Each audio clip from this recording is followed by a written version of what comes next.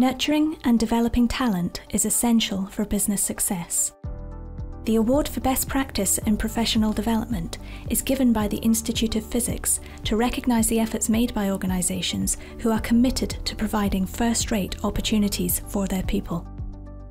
2015 has seen a record number of successful applicants. And here is what receiving the award means to the winners. Personally very proud, I think the lab should be very proud of, of the receipt of the award. We are extremely pleased that the opportunities we have in staff development were recognised by the IOP. And the external pro uh, professional recognition of gaining this award for the third time, so spanning nine years is a great honour. They have many reasons to apply for the award. So I've had some really great opportunities myself and I've really enjoyed working with people to help them achieve their potential. I just want to make sure that as many people get involved as possible. Applying for this award is, is our way of testing our standards against the best in the industry. They offer a wide range of opportunities for professional development. Things such as mentoring and local networks.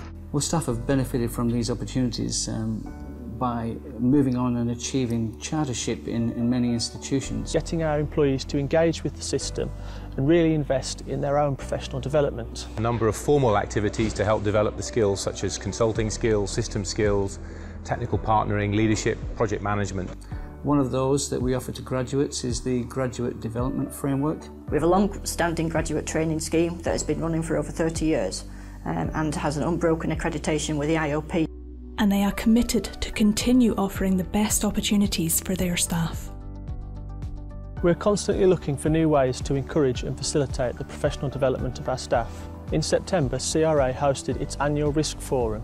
Well, our commitment to developing people is only going to get stronger. We're committed to continue testing ourselves against the best in the industry. We're committed to, to continuing with this framework and developing our people.